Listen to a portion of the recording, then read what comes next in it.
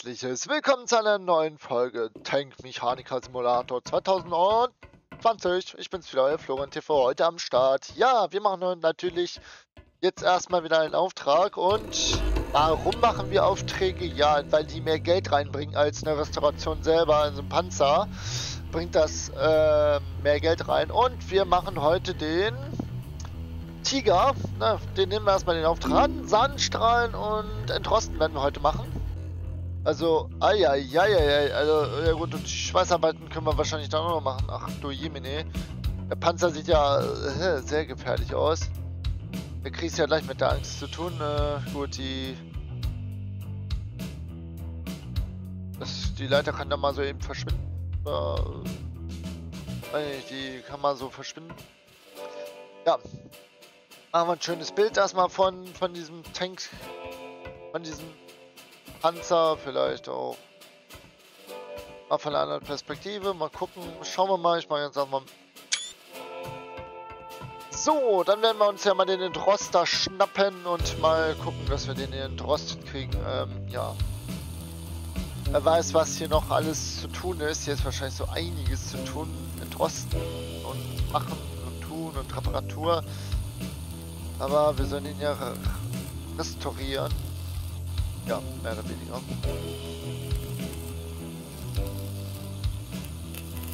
So, dann gucken wir mal, wie weit wir kommen. Oh, das ja alles ganz, ganz schlimm aus. Naja, aber gut, äh, wir sind dafür spezialisiert als Werkstatt. Weil wir die Aufträge machen, bringt das einfach mehr Geld rein und dann können wir uns irgendwann unseren eigenen Panzer restaurieren. Einen haben wir schon übrigens im Ausstellungsraum stehen. Kann ich euch irgendwann demnächst auch nochmal zeigen.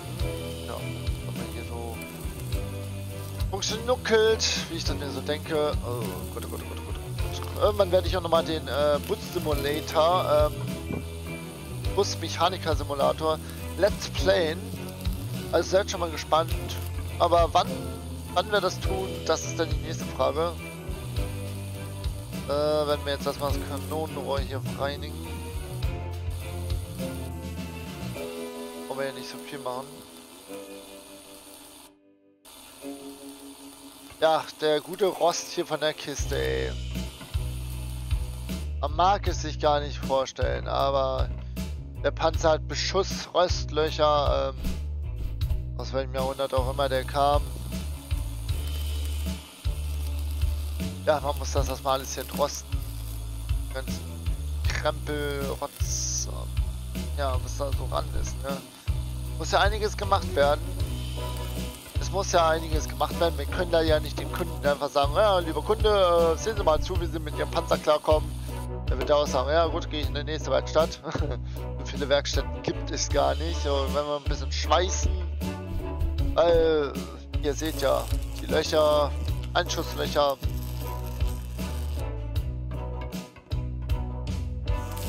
Die Rostlöcher lassen grüßen mal wieder, heute mal wieder. So. Wer liebt, der schiebt seinen Panzer, aber ich glaube, so einen Panzer zu schieben... Ich würde es euch nicht empfehlen, so einen Panzer zu schieben. Dann könntet ein bisschen lange unterwegs sein. Dafür braucht man dann schon Spezialtransporter. LKW oder so, den ihr dann benötigt, mindestens um einen Panzer aufzuladen.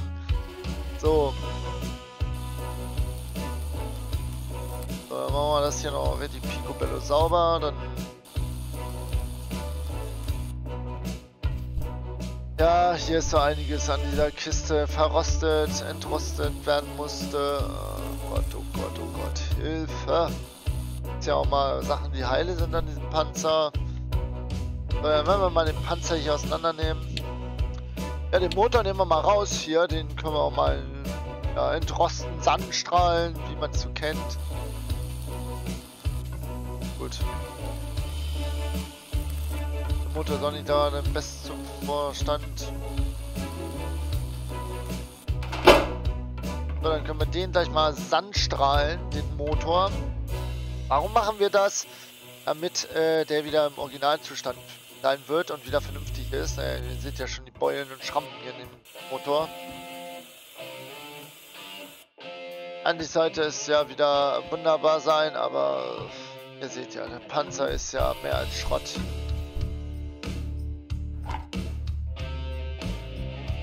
So, was haben wir hier? Motordeckel.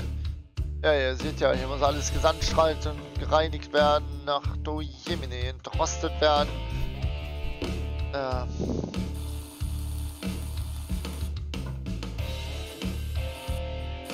Ja, wenn man das alles entrosten tut, dann bleibt ja wohl nicht sehr viel übrig von dem Panzer.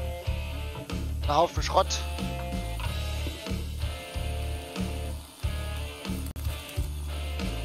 So, aber ich sehe schon, hier ist so einiges Schrott. Müsste eigentlich alles auseinandergenommen werden, nur ich bin jetzt zu voll, hier die Kette aufzumachen.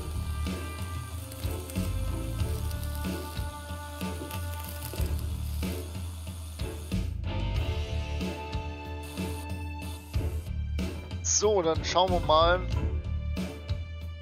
So, dann nehmen wir mal das Geschütz, den Geschützturm ab. So. Und dann können wir gleich mal anfangen, da noch zu entrosten. Das war die Sandschreibpistole. So. Ähm, wie ihr seht, ist es so viel zu tun hier. Also man muss so viel machen und beachten.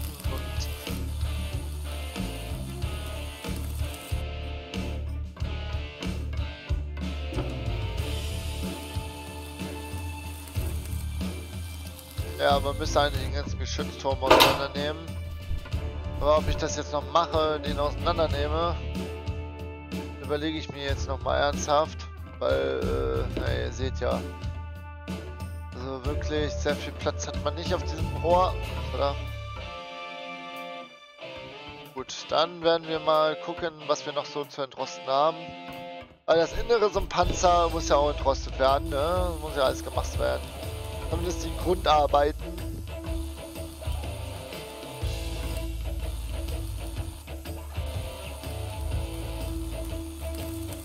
Es muss ja gemacht werden. Es hilft ja nichts, Leute, wir hier alle rumjammern und sagen, äh, Scheiße sieht so scheiße aus. Ähm, ja.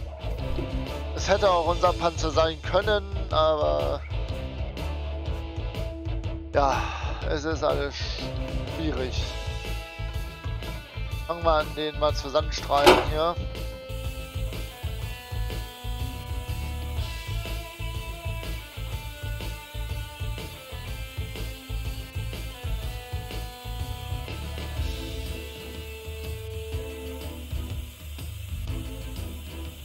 Der Lack ist schon runter hier. Der Kiste. Oh, oh, oh, oh, wie ich das gerade sehe. Und dann noch einiges gemacht werden. So.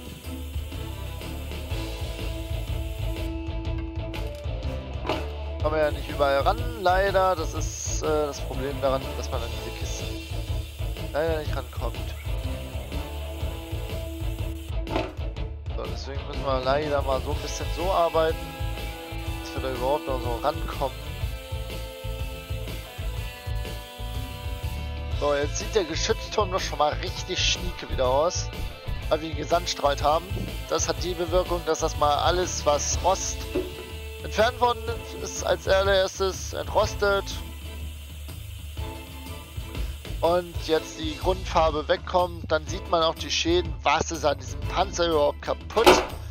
Äh, ist auch meistens immer ganz wichtig, dass man mal sieht, was daran überhaupt Schrott ist und was nicht. So, das Ganze machen wir dann hier auch noch mal. Fangen wir mit innen an.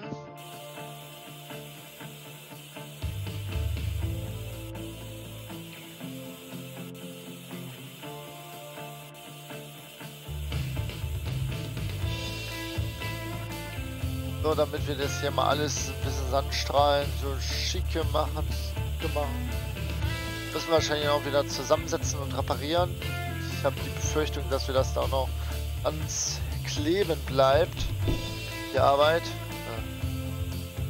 Aber gut, es ist halt eben so wie es ist. Man kann es ja nicht ändern. Aber er sieht gleich viel besser aus, wenn er gesandstrahlt ist und alles schicke aussieht.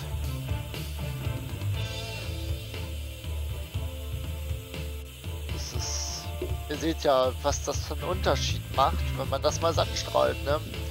Das sind so meistens die Aufträge, die man ungern macht, aber naja, gut, äh, der Kunde ist König, wie man es halt eben kennt, wenn sowas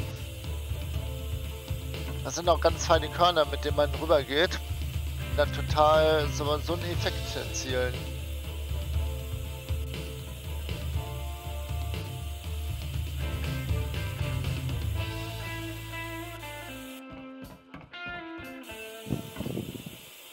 Schauen wir mal. Uh, ja, ganz schöne Arbeit hier. Halleluja, ne? das nennt man mal wirklich Arbeitseinsatz hier. So. Entrosten. Ja. Sieht man auch wirklich mal, was Schäden sind und was nicht Schäden sind. So, meine Sandpistole. Also er sieht, äh, er sieht schon wieder ganz anders aus. Kann man sagen, weil er ja gesandstrahlt worden ist. So, jetzt sollen wir mal gucken, was müssen wir jetzt noch machen. Wir müssen ihn mit der Grundfarbe ausstatten. Fangen wir mal hier an. Upsala. So, grundieren, mal gucken, was wir hier noch haben.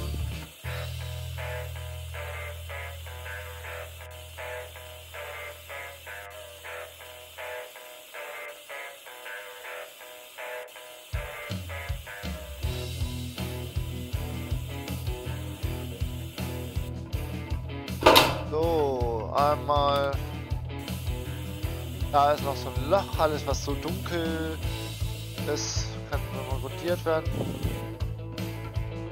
So, jetzt haben wir das hier nicht grundiert, nicht. Gott, wir haben ja so Teile übersehen. Ist natürlich echt blöd, dass man hier noch so einiges machen muss an dieser Kiste.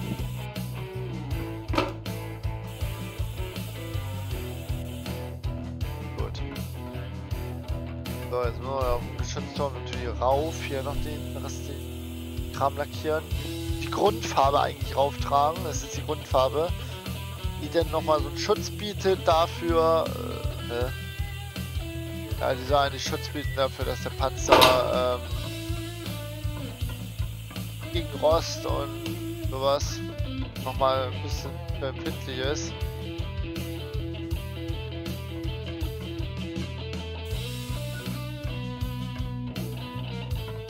Aber gut, das äh, werden wir jetzt gleich mal machen. Und mal gucken, ob das so möglich ist. Das Schweißgerät holen wir jetzt auch. Gucken wir mal, was da jetzt... Boah, Alter, kannst du ja gar nicht hingucken, ey.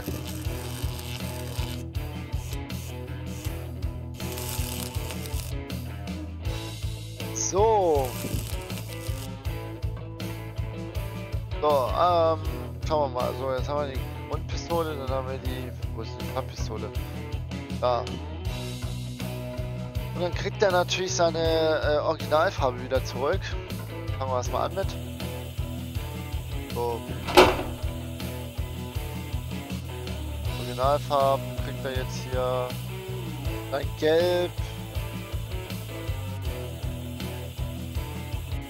Sieht natürlich alles wie Schnieke aus, ne? Ich muss mal sagen, Schnieke aus. Gefällt mir so richtig gut. Also sollten wir jetzt hier noch was vergessen haben, wäre es wahrscheinlich für den Kunden.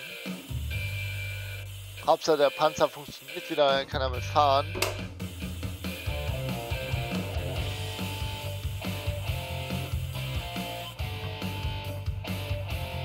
So,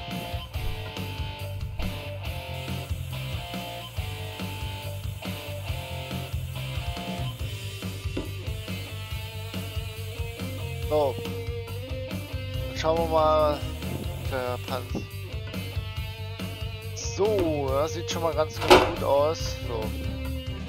Kommt die Grundfarbe hier rauf.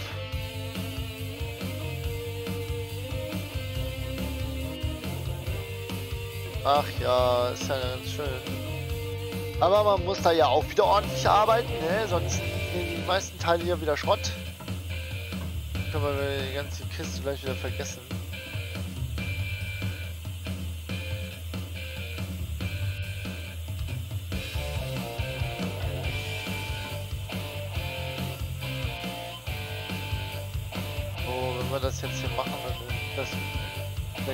Ganz, anders aus.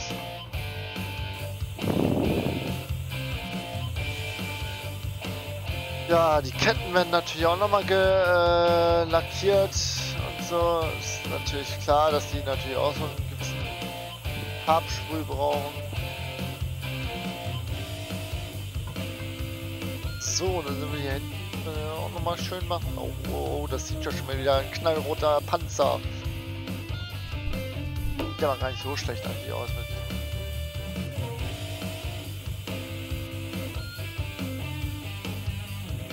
Also ich finde es jetzt nicht schlimm oder so, auch nicht peinlich sein oder so. Einfach so schlecht aus.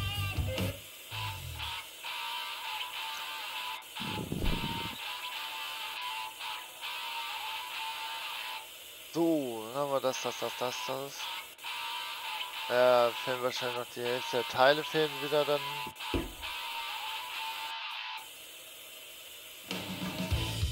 So, dann machen wir das doch so. Ähm, den Motor setzen wir mal wieder rein.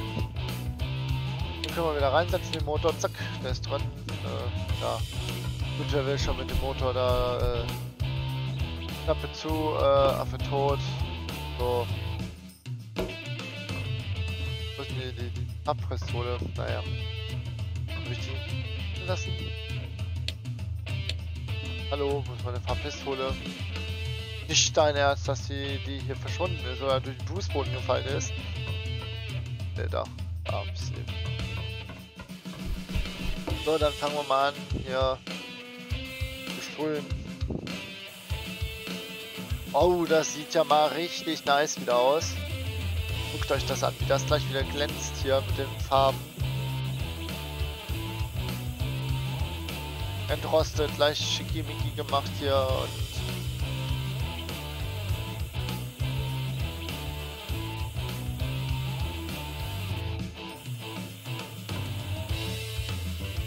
Ja, so sieht das, so muss das doch sein. So muss ein Panzer aussehen, schick. Äh, man kann ihn ja schlecht als Wohnmobil benutzen, aber es ist eine rollende Blechbüchse, sagen wir es mal so.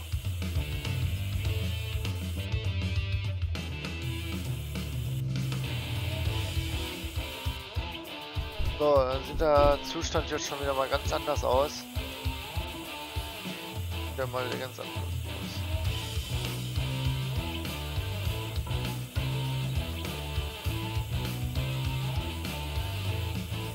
So,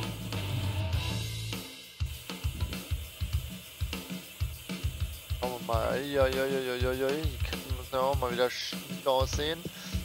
Gut, eine Seite der Ketten ist ja schon belegt. Sieht ja schön schick aus.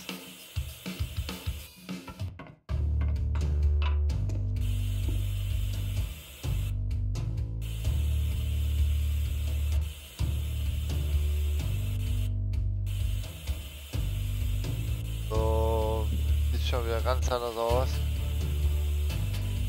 So, dann haben wir das, das, das, das. Dann sieht das auch schon wieder. Oh, sieht das schick aus. Jo.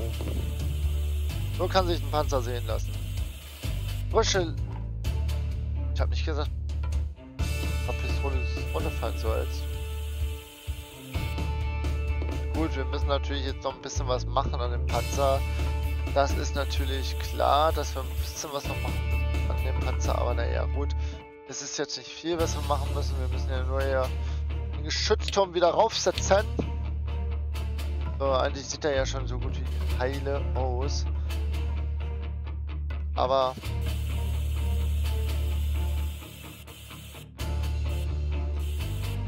So, können wir den eigentlich wieder reparieren und was muss da jetzt gemacht werden an dem Panzer? Äh, ja. Ventilatorenantrieb. Kraftstoffpumpe. Achso, Kraftstoffpumpe, boah, äh, ja. Äh, Tiger, irgendwas stand hier mit Tiger, ne? Aufstand Tiger, äh, d -d -d Tiger? Ist es der? Oder ist es, nee.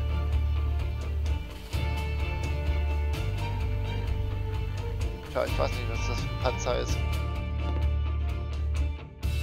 Äh, Tiger H1. Gut, H1. Ventilatoren, H1. H1, H1 ist das hier, der Panzer. Äh,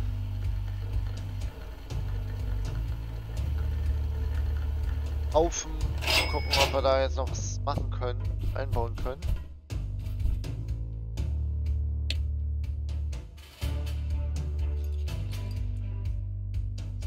So. Ah, können wir nochmal einbauen und kaufen, Ventilatoren. Ja.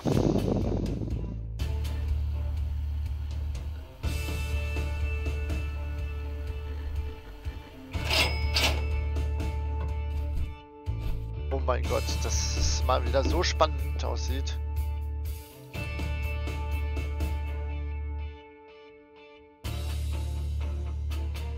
Gut, Ventilatoren schicker aus. So. Was brauchen wir denn noch hierfür? Da brauchen wir noch die Ventilatorenabdeckung. Äh, die brauchen wir auch noch. Ventilatoren, Kraftstoffpumpe. Achso, die Kraftstoffpumpe.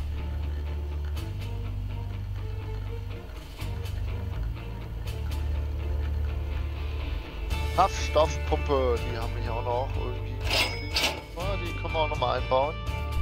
Ist es ja nicht so, dass wir die einbauen können. Auspuff, Lüfter, wo sind die Kraftstoffpumpe? Verschluss für Kraftstoff, äh, Kraftstoffpumpe.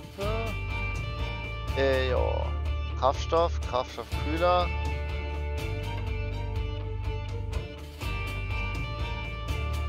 Ja wohl, Kraftstoffpumpe, irgendwo muss die auch hin, ne? Auspuff, was haben wir hier? Das Geschütz, da müssen wir tatsächlich den Kotflügel noch anmachen.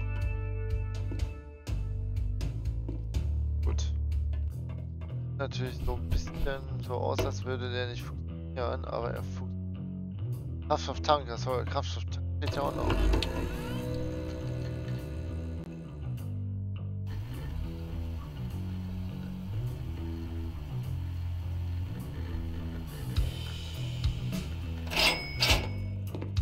So, dann haben wir das hier einmal, einmal. So, was war das? Kühler, ne? Abschleppleine. äh, Ja. Sitz des Was braucht er denn jetzt noch? Er braucht äh, äh, Lüfter, Lüfter. Äh, Lüfter. Da.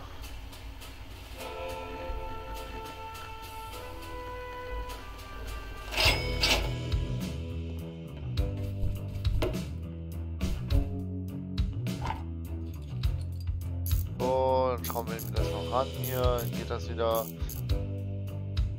So, Abschleppleine brauchen wir noch. Nee, oh nee, oh nee, Abschleppleine brauchen wir noch. Das ist ja natürlich. Eigentlich sollten wir ihn nur restaurieren, aber gut, Leute.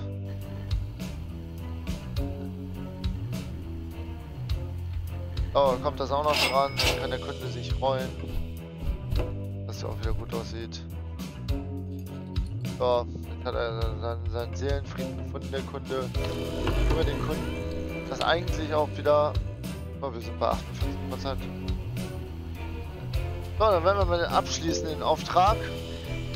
Ja, ich hoffe, es hat euch mal an der Stelle wieder super gut gefallen. Wenn es euch gefallen hat, lasst auf jeden Fall ein Abo da. Oder ein Like oder ein Kommentar, wie es euch gefallen hat. Schreibt doch mal rein, wie ihr das so, den Simulator, Mechaniker, Sim Tank Mechaniker Simulator so findet. Würde mich mal interessieren, ob ihr auch viel Spaß habt oder so, oder ob ihr das auch gerne zockt. Schreibt es mal in die Kommentare und ich verabschiede mich mit einem großen Dankeschön fürs Zuschauen. Bis dahin, ciao, ciao.